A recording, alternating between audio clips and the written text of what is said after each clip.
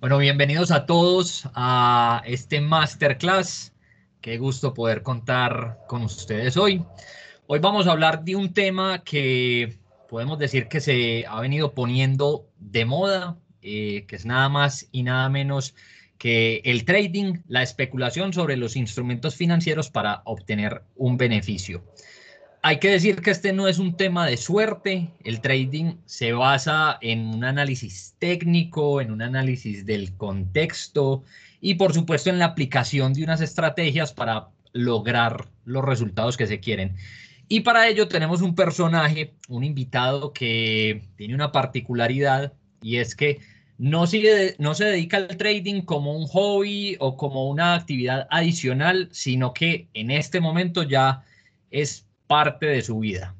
Tenemos acá a Andrés Betancourt. Andrés es ingeniero de sistemas, es egresado de la Universidad de Medellín, tiene 30 años y, como les digo, tiene esa particularidad. Actualmente se dedica de tiempo completo a operar en mercados financieros. Andrés, ¿qué más? ¿Cómo vas? ¿Bien o no?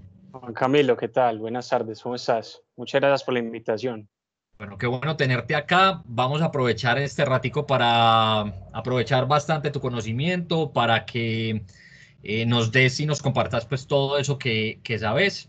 Nuestra propuesta es como siempre muchachos que eh, escuchemos el ejercicio, eh, escuchemos la entrevista y al final generemos las preguntas que cada uno de nosotros tiene para que Andrés nos las pueda resolver. Eh, bueno, pero Andrés, antes de entrar a ese tema puntual tan técnico, contanos un poquito de vos. ¿Con quién vivís? ¿A qué te dedicas? ¿Y cómo llegaste al mundo del trading? Sí, Juan. Eh, actualmente, bueno, como ya lo dijiste, de profesión soy ingeniero de sistemas, egresado a la Universidad de Medellín. Llevo ya en esto del trading aproximadamente cuatro años y medio. Eh, vivo actualmente con mis papás, después de que estuve un tiempo viviendo de forma independiente, pero por la situación pues, que tenemos del COVID, decidí estar con ellos durante este tiempo. Listo. Mm, bueno, como lo dijiste, actualmente me, me dedico tiempo completo al trading, ya no ejerzo mi profesión, aunque la amo pues todavía y, y por ahí hago algunas cositas todavía con, en desarrollo. Andrés, ¿en qué momento vos das ese quiebre de decir voy a dedicarme completamente al trading? Porque nosotros tenemos una imagen, eh, digamos, un poco eh, rosa del trading. Es decir, vemos en películas como El Lobo de Wall Street o en series como Billions, que por supuesto se puede vivir de eso, pero acá en Latinoamérica tenemos un panorama diferente. ¿Qué te pasó a vos que terminaste viviendo completamente del trading? Bueno, yo creo que lo que me sucedió a mí es lo que le sucede al 90%, 99% de las personas. Eh, tienen una primera experiencia con el trading, eh, tienen algún resultado positivo y por ahí creen que van a ser millonarios de la noche a la mañana, ¿cierto? Eh, resulta que por allá en el año 2016, algún amigo me comentó sobre el tema de las criptomonedas. Yo no tenía ningún conocimiento financiero, no sabía lo que era un mercado eh, financiero, ni mucho menos operarlo. Pero decidí pues entrar como en esa tecnología eh, nueva para probar. Compré unas cuantas eh, monedas de Bitcoin. En ese tiempo estaba pues relativamente muy asequible el precio y por novato tuve la, la, suerte, porque fue suerte realmente, de vivir la valorización o la burbuja que tuvo el mercado en el 2017. Eh, a raíz de esto, pues yo logro tener una capitalización importante y tomo la decisión de retirarme sin tener ningún conocimiento, eh, lo reitero, eh, tomé la decisión de, retirarme de la empresa en la que estaba trabajando en ese momento. como todas las personas, pues me hice esas ilusiones mentales de que iba a ser millonario muy joven y, me iba a dedicar a eso, pero no tenía ni la más mínima idea de cómo se operaba un mercado. Entonces yo a mis amigos les digo que gané por novato y después perdí por novato, porque también perdí mucho dinero en la caída, en el crash del 2018, a finales del 2017, inicios del 2018. Y a raíz de eso, pues porque fue un momento difícil en mi vida, tomé la decisión de empezar a, a investigar, a indagar con ese capital que tuve. Aproximadamente perdí un 80% del capital que tenía. Eh, con ese capital dije, bueno, vamos a hacerlo de forma profesional, voy a educarme, voy a buscar cómo es que se hace esto y empecé. Mm, fueron años difíciles o meses difíciles hasta que logré tener pues como ya una persistencia y una rentabilidad en el tiempo.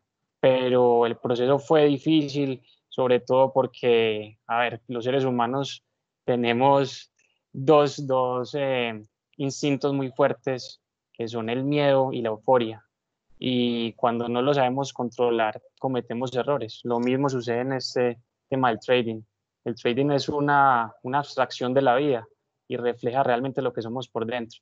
Entonces, a través de, de esas pérdidas, de esas decepciones, hubo momentos donde yo dije, ya no más, no voy a continuar con esto, no es lo mío. Pero bueno, insistí, insistí y, y logré tener rentabilidad en el tiempo. Hasta el día de hoy que continúo con algunos mercados, operando algunos mercados. Bueno, vos nos hablas mucho de esas dificultades. Eh, obviamente nosotros a veces romantizamos mucho ese personaje de eh, el trader y creemos que es relativamente sencillo, pero sabemos que hay unos retos y unas dificultades puntuales. En el quehacer del trader, ¿qué nos dirías que es lo, lo más satisfactorio y lo más difícil también? Bueno, no es complejo, es excesivamente fácil hacer trading. De hecho, en un mes puedes tener los conocimientos técnicos para sentarte ante una computadora y, empezar a operar. Lo realmente complejo es manejar el tema de las emociones, el tema psicológico. Eh, bueno, esto es muy relativo como todas las cuestiones de la vida, pero yo digo que para hacer trading necesitas un 80% de psicología o de manejo de emociones, un 10% de estrategia y un 20% de gestión de riesgo. La gestión de riesgo es muy importante porque, pues, como lo dije ahorita, por novato puedes ganar mucho de un día para otro, en un instante, pero también puedes perderlo todo. Entonces, la gestión de riesgo es un segundo factor importante. Pero en mi opinión, el primero es el, el manejo psicológico. Si no manejas tus emociones, no controlas lo que estás haciendo, si no aceptas la pérdida, para mí es lo principal de la psicología en el trading, aceptar la pérdida. Un buen trader se mide por lo que puede perder y no por lo que puede ganar, irónicamente. Eh, hasta que llegas a un momento donde, donde no sentís euforia por ganar, ni, ni tristeza, ni pánico por perder, porque sabes que estás ejecutando un plan, sabes que de 10 operaciones vas a ganar 7, por ejemplo, y esas 7 tienen un costo-beneficio eh, controlado, vas a poder asumir las otras tres de pérdida. Entonces, yo creo que lo principal aquí es el tema de la psicología. De hecho, cifras nos muestran que solamente el 90, eh, perdón, el 8% de las personas que inician este mundo permanece rentable en el tiempo. Es decir, un 92% de las personas se retira el primer año del trading. Entonces, eh, es algo muy sencillo de hacer, pero que no lo hacen todas las personas porque como seres humanos nos cuesta controlar el ego.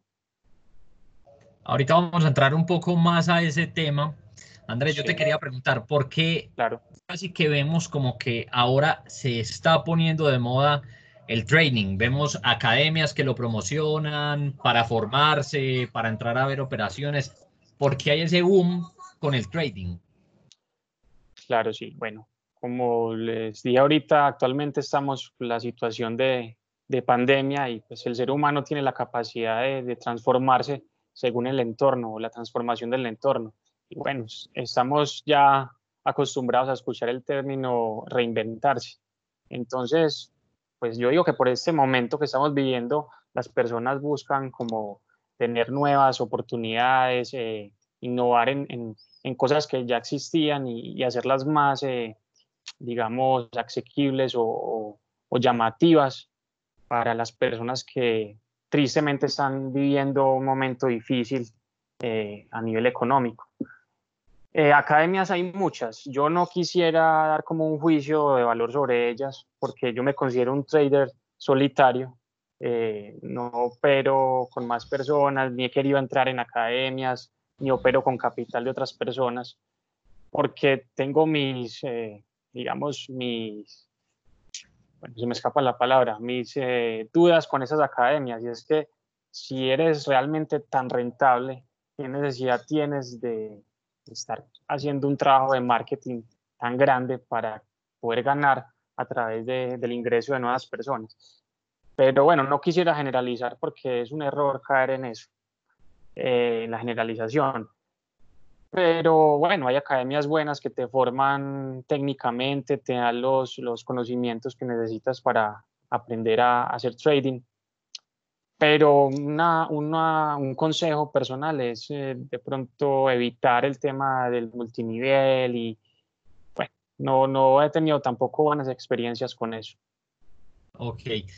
Entre las personas que están conectadas y entre las personas que van a ver el video, Andrés, seguramente hay personas que están empezando a entrar al mundo del trading y hay otras que de pronto ya llevarán un tiempo recorrido. Si yo te pregunto, ¿qué se necesita para ser un trader, además de lo que nos dijiste de, esa, de ese autoconocimiento, de esa fortaleza psicológica, eh, a nivel casi que incluso de eh, técnico, ¿Qué se necesita para ser un trader? No sé si hay una formación en particular, casi que algunos elementos físicos puntuales. ¿Qué nos podrías decir de ese tema? Bueno, la formación eh, en cuanto al análisis técnico, existen dos tipos de análisis, el técnico y el fundamental. Con seguridad muchas veces lo hemos escuchado. El técnico es, digamos, el análisis de las matemáticas como herramienta para analizar el comportamiento de un activo financiero. Existen muchos activos financieros hemos escuchado hablar de Forex, de criptomonedas, de futuros, eh, de commodities, que son, digamos, el oro, elementos naturales. Eh, existen muchos mercados y las matemáticas como ciencia eh, o como herramienta pura para hacer análisis de estos mercados es la herramienta principal. Por otro lado, tenemos el análisis fundamental, que es el tema ya de las noticias, lo que está pasando actualmente en el mundo, el tema diplomático, también político. Y económico, macroeconómico, eh, que afecta sustancialmente eh, el movimiento en el mercado. Pero inicialmente lo que necesitamos para empezar a hacer trading, en mi opinión, son dos cosas. Ese conocimiento técnico y segundo, perder. Ah, tienes que aprender a perder y, tienes que saber que vas a permanecer mucho tiempo perdiendo para aprender a ganar. Eh, no conozco el primer trader exitoso que sea rentable en el tiempo, que tenga una experiencia donde empezó a ganar, a ganar, a ganar, a ganar. Eso no lo hace nadie.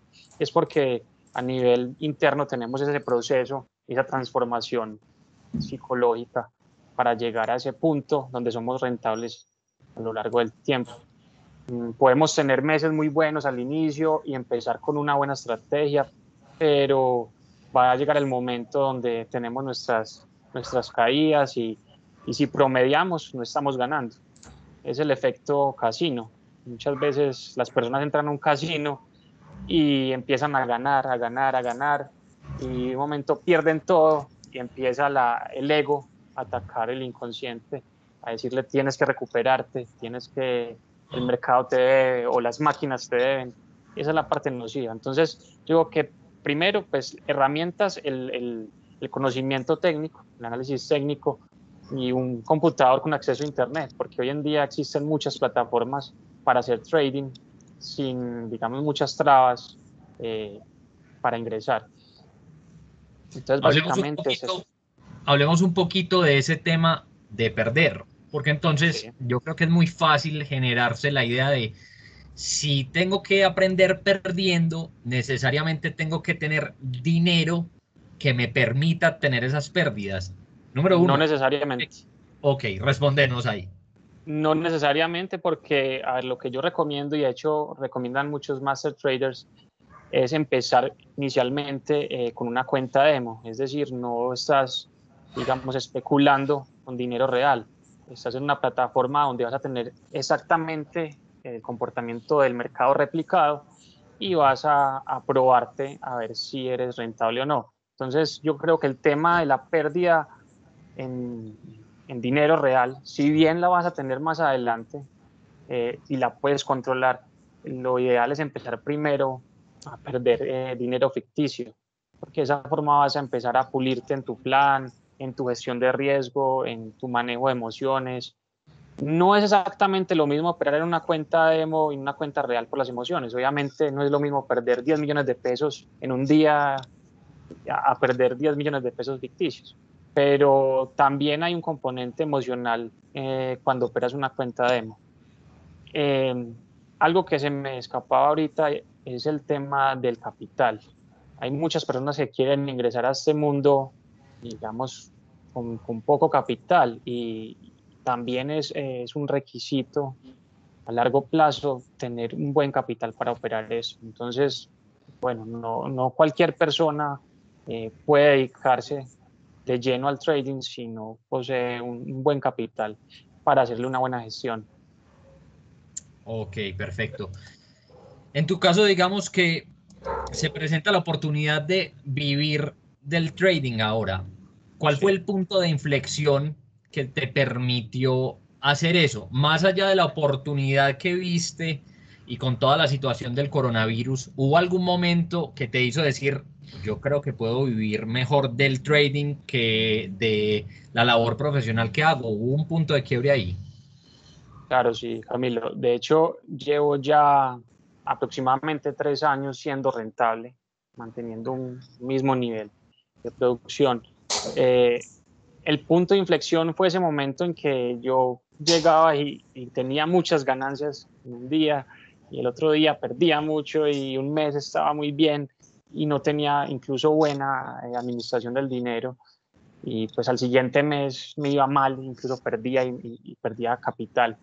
Eh, hasta que llegó el punto donde yo dije, bueno, voy a hacer un plan bien detallado, no me voy a salir y lo voy a probar durante dos meses. Eh, el plan me funcionó y me di cuenta que tenía aproximadamente entre 20 y 25% de rentabilidad mensual. Así lo hice durante varios meses y hasta el sol de hoy continúo haciéndolo. Obviamente hay momentos eh, fuertes en los mercados financieros, mm, como el, eh, este que estamos viviendo del COVID, donde el mercado colapsa y muchas veces esa gestión no la logras tener tan bien. Y por ahí pues se te baja el promedio de, las, de, las, de la rentabilidad.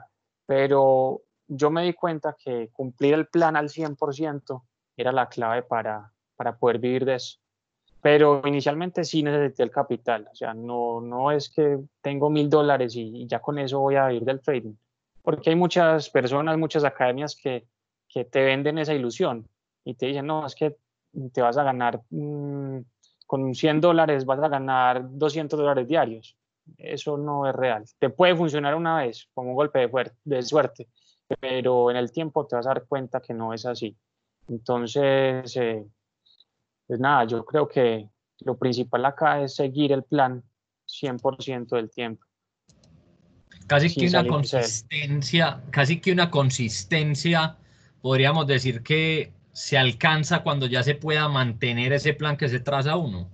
Correcto, sí, porque las estadísticas, siempre vas a estar de mano a las con las estadísticas.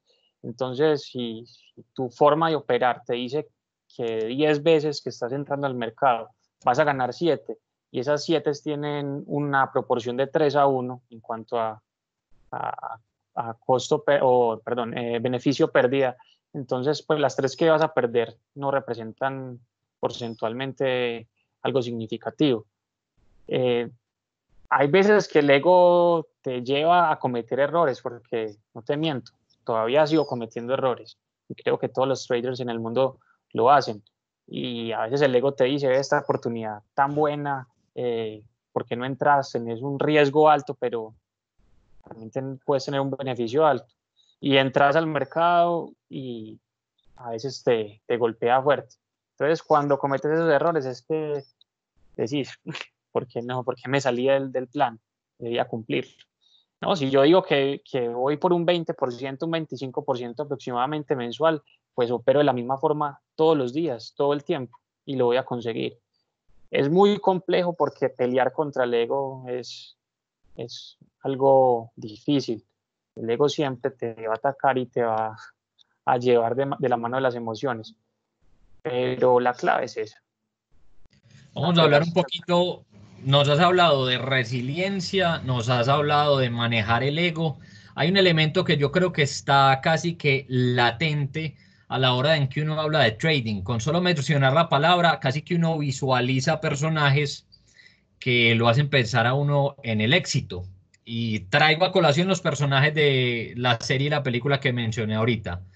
DiCaprio eh, en, el Lobo de Wall Street es absolutamente uno lo, lo asocia con el éxito. ¿Vos qué consideras de, ese contexto, eh, de ese concepto por un lado? Y por otro lado, ¿cuándo se puede decir que uno es exitoso en el trading realmente? Bueno, es, redundante lo que voy a decir, pero considerarte, disculpe, considerarse eh, exitoso en el trading es lograr ese, esa consistencia mm, durante varios meses. Si lo logras durante un año es porque, porque te está funcionando el plan. Eh, y, si tu, y si tu plan de gestión de riesgo está ejecutado al 100%, eres una persona exitosa porque controlas tus emociones y ejecutas tu plan. Eh, hay factores también externos como el que llamamos en la película, hay mucha manipulación en Wall Street y lo sabemos. Em, pero bueno, o sea, eh, el mundo es ese, hay cosas malas, hay cosas buenas y como todo en todos los campos, eh, hay personas que lo hacen de forma correcta y personas que lo hacen de otra forma. yo digo que ser exitoso es ser una persona eh, moralmente correcta, operar consecuente con, lo, que, lo que está bien por hacer y, ejecutarlo. Respecto a ese tema de las emociones que hablábamos ahorita, es importante entonces uno estar eh, bien, casi que mentalmente, para poder hacer ese ejercicio. En ese caso, ¿has conocido gente que recurra o a psicólogos o alguna actividad en particular para que los tranquilice. ¿Y qué hace Andrés Betancourt para estar mental y emocionalmente balanceado a la hora de hacer todos los ejercicios que hace? Eh, bueno, yo creo que sí es muy importante los factores externos, juegan un papel importante ahí, claro, porque tienes, digamos, eh, un problema emocional con las personas que te rodean, te va a afectar en el trading. Entonces, lo más sensato en ese punto es no hacerlo. ¿cierto? Si yo sé que hoy tengo un día difícil, que tengo problemas con las personas con las que convivo, o con mi novia, mi esposa, mis amigos, mis padres, la persona que sea, pues yo trato de, de, evitar mucho el trading porque sé que voy a involucrar mis emociones. Eh, una estrategia pues buena es el, tema físico, la simulación física. ¿cierto? un cuerpo sano es una mente sana y yo he visto resultados cuando hago deporte. Cuando hago deporte y después opero, eh, el, cuerpo está tranquilo y la mente está apta para hacerlo. Por lo general, antes de la pandemia, pues yo practicaba mucho el fútbol, me gustaba bastante y, y trataba de hacerlo con regularidad. Eh, otra estrategia de pronto es la meditación. La meditación te ayuda a, a tener ese factor de autoconocimiento, que es muy importante. El conocerse a sí mismo, eh, te vas a dar cuenta que, que, puedes controlar muchas cosas y, que normalmente cuando no te conocías eh, operabas en piloto automático y dejabas que tus emociones te, te llevaran a cometer muchos errores. Entonces, el, tema del, eh, del, ejercicio y, digamos, la meditación puede ayudar mucho para lograr buenos resultados en el trading. Listo. Vos ahorita estás en un punto en el que ya te dedicas de lleno al trading, pero yo creo que hay muchas de las personas que están acá o que te van a escuchar que se van a empezar apenas a dedicar al training, van a dedicar unas horas de su vida a este ejercicio o van a hacerlo en la noche. ¿Se puede hacer training teniendo un trabajo adicional o eventualmente crees que para, eh, digamos, tener esa, esa consistencia es necesario ya dedicarse a él de lleno? No, para nada, sí lo pueden hacer. De hecho, pues hay muchos instrumentos financieros, como te decía, que manejan diferentes horarios, ¿cierto? Eh, todos hemos escuchado Forex, por ejemplo, es el, mercado de las divisas, un mercado de derivados, eh, donde tenemos diferentes bolsas en el mundo que tienen diferentes horarios de apertura y de cierre. Entonces hay personas que de hecho, hay master traders que operan solamente 15 minutos en el día y es la apertura de un mercado en específico. Entonces no se requiere, digamos, un eh, tiempo completo para, para hacerlo. No lo llamemos hobby, sino como una actividad adicional para generar ingresos. Igual como les decía ahorita, primero hay que tener un proceso, no es que como lo puedo hacer, voy a llegar por la noche y, me voy a sentar y voy a, a buscar un broker y, meto mil dólares para empezar, no, porque con seguridad vas a quemar la cuenta. Eh, sí, lo puede hacer cualquier persona. Eh, hay mercados regulados, hay mercados que no están regulados, pero que no son prohibidos, como el tema de las criptomonedas. Eh, tenemos futuros, tenemos el stock de Estados Unidos, por ejemplo. Bueno, ahí sí de pronto hay un poco más de trabas para poder ingresar y necesitas tener una, una tarjeta. Eh, pero cualquier persona lo puede hacer dedicando poco tiempo realmente. Lo que sí le dedicar mucho tiempo es al, al, al estudio inicial y a la práctica en, en, en plataformas demo. Okay. Pero el trading lo hace hasta un niño. O sea, un niño, de hecho, Conozco el caso de experimentos que han hecho con niños donde son muy rentables porque simplemente se sientan a ejecutar un plan y compran y venden cuando, cuando les indican. Ellos no meten el tema tan complejo que de las emociones como lo, lo, manejamos los adultos. Entonces cualquier persona sí puede hacerlo, pero lo que recomiendo es capacítese primero, eh, tenga, puede ser un buen tutor, busque una academia así, pero no caiga de pronto en esa trampa que es eh, pagar una mensualidad para replicar de pronto operaciones que hacen otras personas. No, no tengo una buena experiencia con eso y conozco muchísimas personas que tampoco la tienen. Entonces, información en Internet hay muchísima, ¿cierto? Tú te sientas y, y buscas qué es trading, qué es análisis técnico, cómo opero, qué es un broker, qué es la oferta, qué es la demanda y vas a tener esos conocimientos en poco tiempo. No necesitas ser un experto en finanzas para hacer trading. No, no lo necesitas. De hecho, yo no soy un experto en finanzas. Conozco lo que debo conocer de trading y lo hago. Ok, Andrés, ¿hay momentos ideales para hacer trading? ¿Se puede operar desde cualquier parte? ¿O vos has identificado que hay unos momentos que no son los ideales y que no se puede operar desde cualquier lugar? Bueno, ya ahí entraríamos de pronto a, conceptos más técnicos eh, de apertura, de cierre de, algunas bolsas, en lo que es un instrumento financiero, porque puedes operar múltiples instrumentos. Eh, por ejemplo, en Forex, para operar, digamos, dólar contra, contra euro, lo ideal es buscar el horario de apertura, ¿cierto? De apertura y cierre eh, de las bolsas de Estados Unidos de New York o, o en Europa. También es muy relativo, depende de qué tipo de, trader eres, si eres arriesgado, si eres conservador, si eres eh, una persona que opera muy corto plazo, es decir, en minutos, o eres un, trader de posición o un swing que espera varios días para salir de una posición. Eso depende mucho de tu personalidad y la forma con la que abordes el mercado. Pero en cuanto a horarios, pues los tienes todos, porque de hecho las criptomonedas están 24/7, no, no cierran. Entonces puede haber trading a las 3 de la mañana, a las 5 de la mañana, un domingo, un sábado. No hay un horario como puntual para, para decirte es el horario ideal para hacer trading, no, porque depende mucho de, de los mercados financieros o de los instrumentos que estés operando. Ok.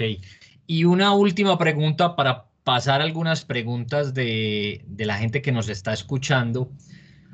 Para las personas que están más nuevas en este ejercicio, ¿nos podrías explicar eh, cómo se hace una operación de trading? ¿Qué se tiene que tener en cuenta a la hora de, hacerla?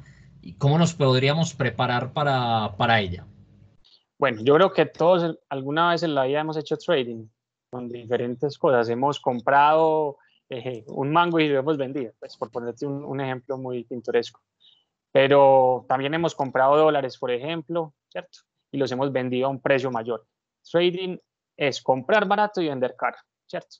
Obviamente también hay, un, hay unos mercados derivados que manejan ya el tema de los cortos, no sé si de pronto los hemos escuchado, los han escuchado, que es eh, vender para recomprar abajo y sacar una ganancia. Pero la base del trading es la oferta y la demanda. Comprar un, un activo financiero en un punto y venderlo, y venderlo en otro punto, de tal forma que pueda sacar una utilidad de esa, esa compra y esa venta. Entonces, lo primero es tener claros esos conceptos iniciales, lo que es oferta, demanda, lo que es un activo financiero, mmm, cuándo es bueno comprar, cuándo es bueno vender. Eh, una persona que no tenga de pronto esos conocimientos básicos los puede adquirir de forma muy, muy sencilla. Hay mucha, hay mucha documentación en Internet gratuita donde, donde puedes acceder y, y tener esos conocimientos. ¿Cómo es una operación? eh, yo entro, por ejemplo, y, y veo, un, vamos al, al, tema de Forex, veo el, el, el, dólar contra el yen, está 1.1, Veo que está en un punto de, de, de mucha oferta, es decir, eh, la oferta está relacionada con la venta, hay mucha presión vendedora, ¿cierto? La gente está vendiendo sus dólares para comprar eh, yenes. Entonces, veo que es una, una, una buena posibilidad de entrada, compro cierta cantidad de, de, de, dólares en un broker y cuando tenga, digamos, un rebote, así lo llamamos, eh, lo vendo cuando tenga una utilidad. Eso es una operación sencilla de trading. Eh, también puede ser una acción, por ejemplo, una acción de cualquier bolsa en el mundo. Pero en esencia es eso, comprar a un costo o a un precio, vender a otro precio que me genere una, una utilidad siempre tener una gestión de riesgo. Es decir, eh, como esto es un tema especulativo y yo trabajo con probabilidades, cuando yo detecto que hay una probabilidad alta de ocurrencia, también hay una probabilidad mínima de, de fracaso. Tengo, tengo que controlar ese riesgo y poner lo que llamamos un stop de pérdida, ¿cierto? Un punto donde yo me permita perder algo, pero que esté dentro de mi plan. Ese es el trading en, en, en teoría. Así es la forma más pura. Comprar a un punto, vender a otro. Tener una utilidad o controlar una pérdida. Listo. Las personas que nos están escuchando, yo estoy seguro que tienen todos perfiles muy diferentes. Algunas personas ya tienen un pequeño recorrido en el mundo del trading, otras apenas están ingresando. La invitación ahorita es, muchachos, los que quieran aprovechar a Andrés para hacerle alguna pregunta, algo puntual, activen sus micrófonos, eh, para hacerle la pregunta a él directamente o si lo prefieren también a través del chat de, de nuestra sala pueden escribir la pregunta ahí y yo se la leo, cualquiera de las dos. Pero si pueden encender el micrófono, genial. Entonces, si tienen alguna pregunta, este es el momento. Bueno, yo la tengo. Yo quiero comenzar con mi pregunta. Dale. Eh, Andrés, muchas gracias. Pues primero que todo por hacer la masterclass. Yo tengo una duda muy puntual. ¿Cuáles son los brokers que en tu experiencia o que vos tenés una opinión pues favorable porque sé que hay mucho tabú con el tema de los brokers y ciertos mercados, entonces me gustaría saber cómo qué brokers eh, te han parecido a vos mucho más fiables en pro de los traders. Sí. ¿Tu nombre es cuál, perdón? Mi nombre es Alejandro. Alejandro, sí. ¿Qué tal, Alejandro? ¿Cómo estás? Bien, Eh, gracias. Me alegra.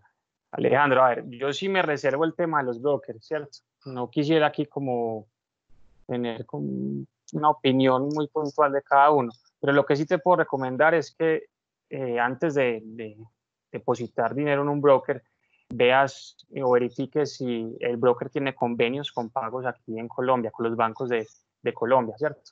Porque Ajá. conozco casos de, de personas que, que entran a un broker y, digamos, ganan y tienen su dinero ahí represado y es un, un, un lío completo eh, ya el tema de, de, los depósitos. Entonces lo importante es ese, que esté regulado en el país eh, origen, digamos, del broker y que tenga cierto prestigio eh, para el tema de la liquidez, que sea un broker que maneje buena liquidez, porque hay brokers que son, digamos, fantasmas y, y te lleva a ciertos sustos. Pero lo principal es eso, que tengan convenios con, con la banca aquí en Colombia, que estamos hablando pues de Forex. Ya en el tema de, bueno, no sé de pronto qué instrumento quieras operar. Me llama la atención los microfuturos. Ya. Bueno, sí, hay muchos brokers que manejan micros y, futuros y mini. Pero como te digo, no quisiera meterme muy profundamente a eso porque ya es dar un concepto muy personal y no, no, no lo veo como bien. Lo importante es que si esté regulado en el país. Dale, Alejandro. Muchas, muchísimas gracias, Andrés.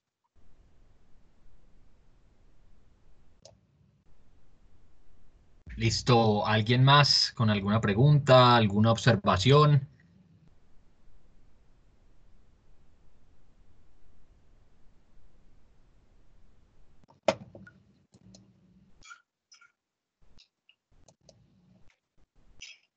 Sí, yo tengo una pregunta. ¿Me escuchan? Sí, te escuchamos. ¿Qué opinión te merecen los contratos por diferencia? Contratos por diferencia no he manejado. No conozco el tema, la verdad. Ok, y respecto a opciones, por ejemplo, ¿has opciones manejarlas? Sí, sí las he manejado, no te las recomiendo en absoluto. Eh, para mí, para mí. Te, pregunto, eh, cuando las empleadas fueron opciones desnudas o eran ya toda la gama de, de mariposas y cóndores y X, Y, Z que uno puede encontrar en ese espacio. Perdón, eh, no, te, no te entendí la pregunta. En opciones. Eh, sí, sí, ¿qué tipo más o menos de opciones tuviste la oportunidad de, de, de trabajar o de encontrar en tu experiencia? Pero no te entiendo el tema de, la, de las mariposas. ¿A qué te refieres con eso? Ah, al tipo de estrategia donde muchos traders, por ejemplo, combinan sí, neutralidad de, un instrumento o se sube las cosas súper... Super... ¿Te refieres a los, a los patrones? Eh, no, no, como a, como a contratos específicos que se pueden hacer con las opciones para capturar el upside o el, downside o si el, si el instrumento está, está neutral. Pues quería saber si vos decir qué, qué acercamiento tuviste con ese espacio.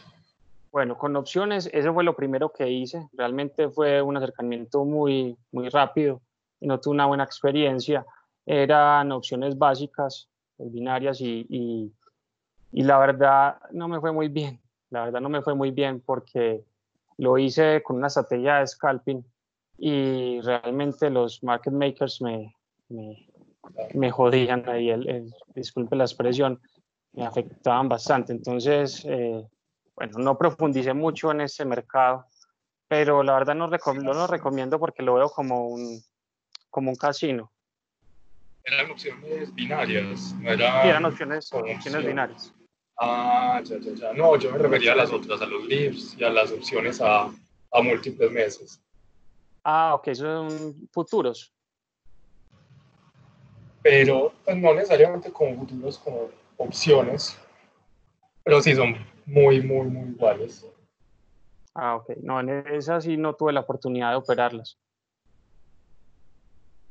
Ya, ah, ok. Pero mi opinión, pues, porque no soy experto en el tema de opciones, lo que puedo percibir es que no puedes tener una muy buena gestión de riesgo ahí. El factor suerte es, es, es una constante. son un casino. Sí, exacto.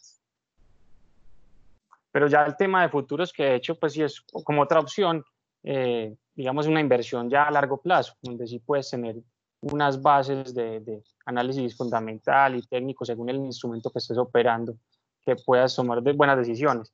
Pero por general en las opciones binarias la gente lo trabaja en, en, en tiempos de, de, minutos, de un minuto, de cinco minutos, y es totalmente un casino porque una falta de liquidez te puede liquidar la posición o pues se puede hacer perder todo el capital.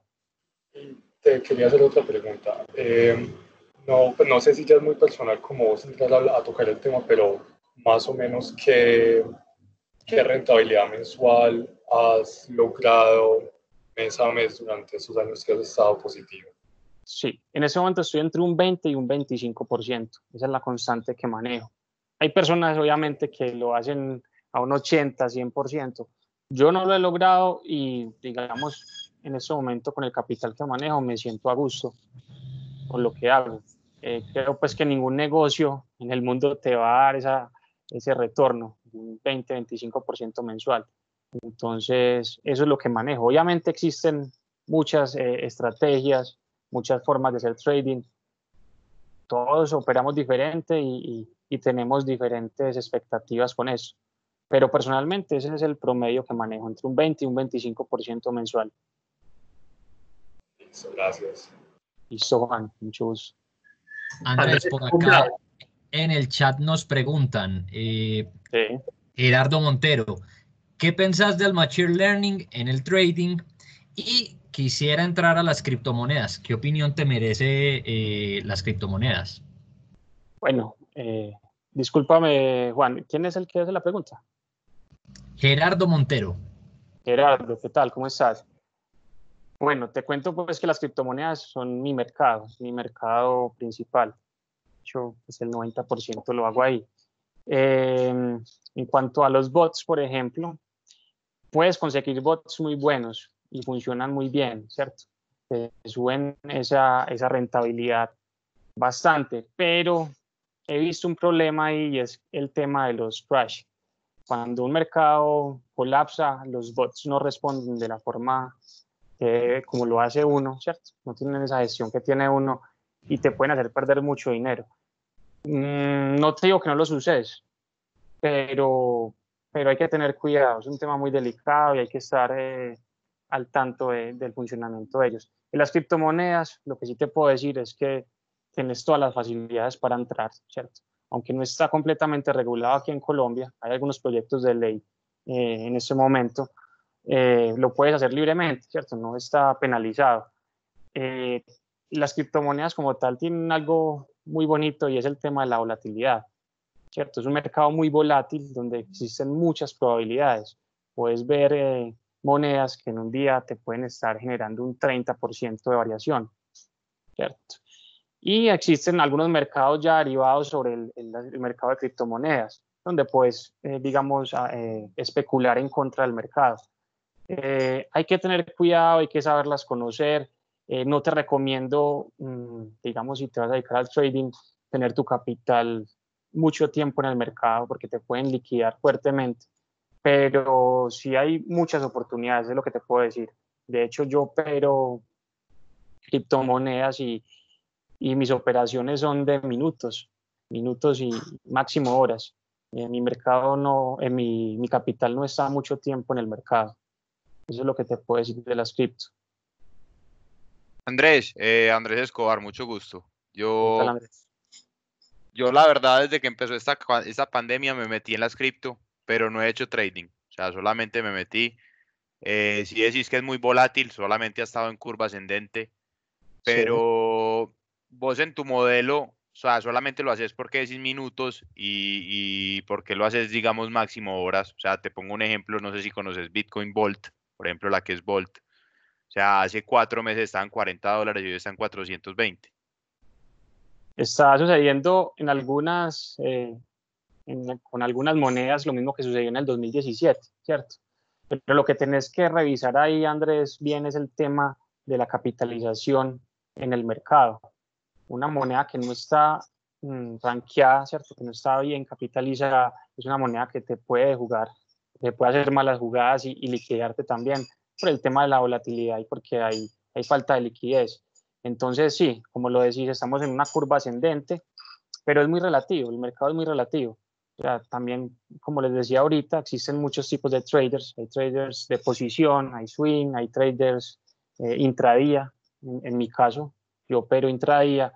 Eh, ¿Por qué he decidido este modelo? Porque siento que de alguna forma tengo más control sobre mi capital y la gestión de riesgo la puedo ejecutar a la perfección.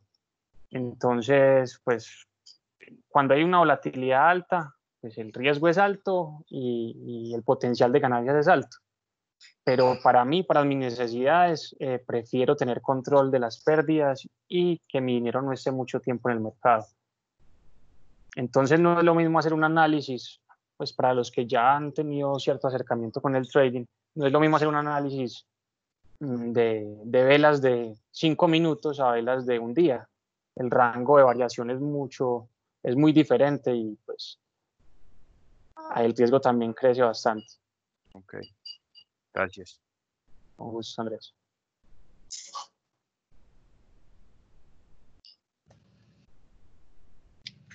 Listo. ¿Alguna otra pregunta? ¿Algún, ¿Alguna otra inquietud para Andrés? Eh, Andrés, buenas tardes. ¿Cómo estás? Buenas tardes. Hablas con Julián. ¿Cómo estás, eh, Julián? Muy bien, hombre. Eh, Andrés, te hago la- una pregunta puntual. ¿Qué requisitos se necesita uno para participar en los mercados de acciones? Acciones, ya tendrías que tener, eh, digamos, eh, un broker. Bueno, hay, hay dos cosas. La documentación eh, básica, ¿cierto? Como persona, y el otro es el tema de capital.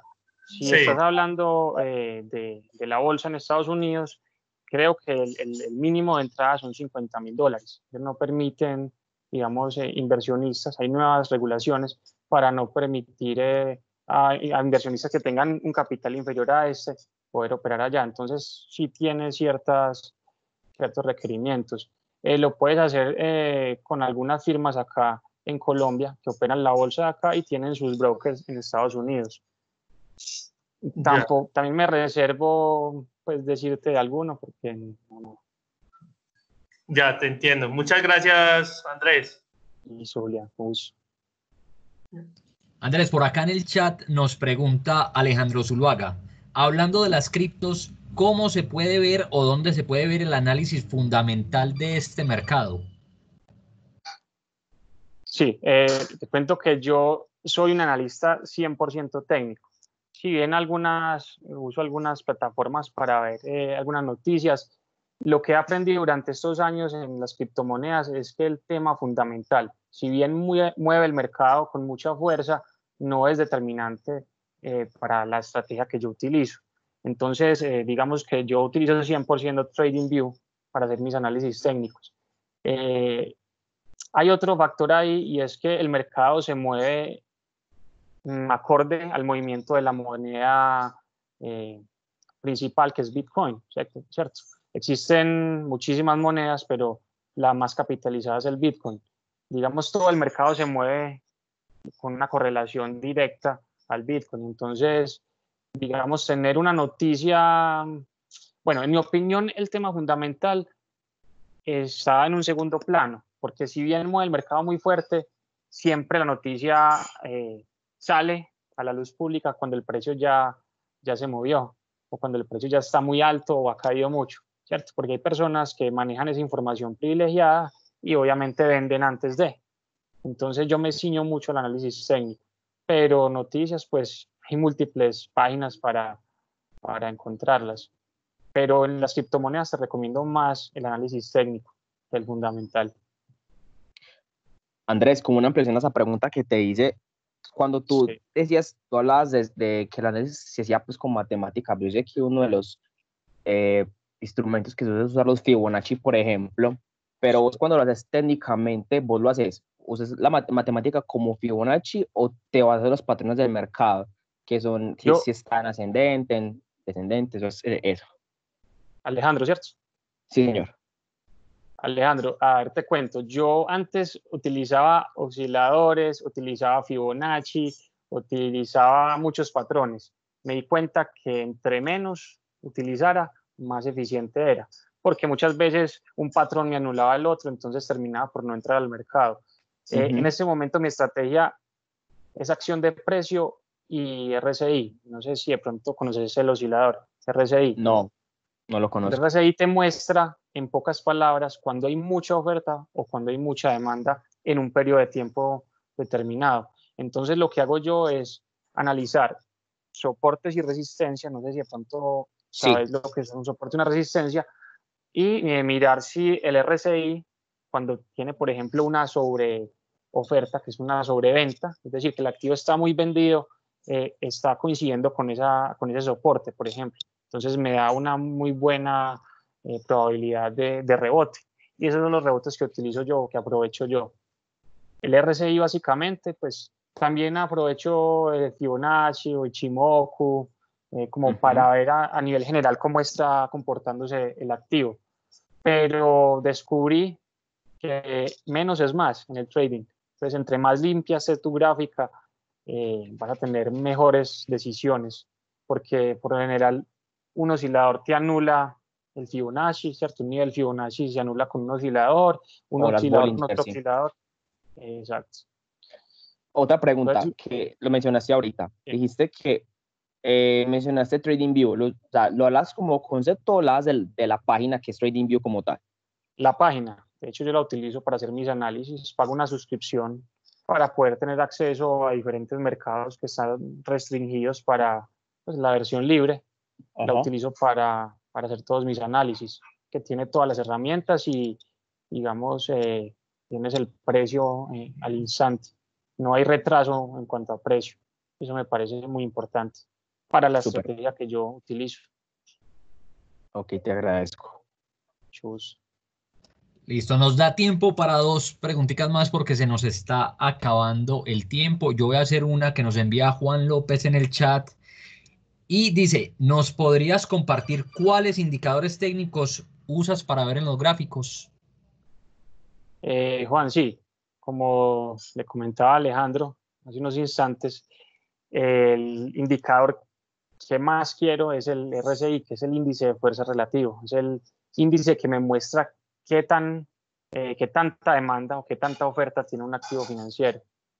Por lo general, cuando eh, tienes un nivel, eso esa escala es logarítmica, tienes un nivel eh, acercándose a los 100, vas a tener un retroceso en el precio. Cuando tienes un nivel acercándose al, al, punto cero, vas a tener un rebote, crecimiento. Entonces, ese es el que más utilizo yo. También utilizo, como le dije, como le comentaba a Alejandro, otros eh, indicadores, utilizo eh, Fibonacci eh, ondas Elliott. Me gustan mucho utilizar el, indicador Elliott porque me muestra si ya un, un, activo tiene los tres impulsos que debería tener normalmente. Entonces, pues evito entrar cuando veo un, buen patrón, pero ese me lo, me lo anula. Básicamente son esos dos. Elliot y, y RCI. Pero indicadores hay todos los que quieras, pues. Hay muchos indicadores y todos resumen lo mismo, oferta y demanda, te muestran qué tan eh, demandado está un activo o, o qué tanta oferta tiene. Listo, y nos da tiempo para una preguntita más. No sé si alguien de los asistentes quiera aprovechar Andrés en esta última, en este último minutico.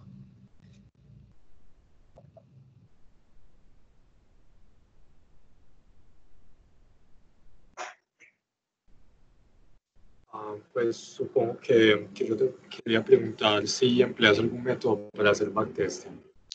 El backtesting, ¿qué tal Juan? El backtesting realmente no lo utilizo mucho, ¿cierto?